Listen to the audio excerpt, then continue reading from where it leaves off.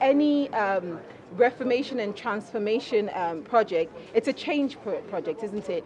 And when you're managing change, the levels of challenges um, are, are, varied, but I think the most important aspect of um, change, which can become a challenge that needs to be managed upfront, is that ultimately change affects people.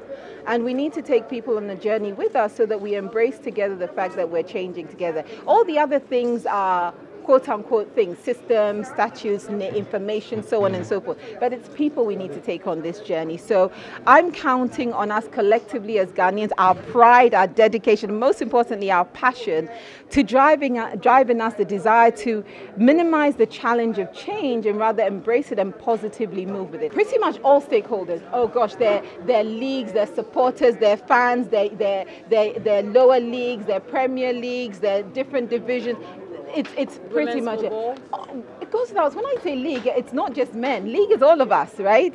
I think we we, we, we, we hopefully will cease to look at um, football and think men and not women, but look at football and think everyone involved in football, right? Because when Honorable Saki, for instance, was sharing her her childhood experience, she talked about her father's ritual of watching football, but all of them being dressed in their kits supporting Accra Hearts of Oak. He didn't say my child who's a girl is a different football, right?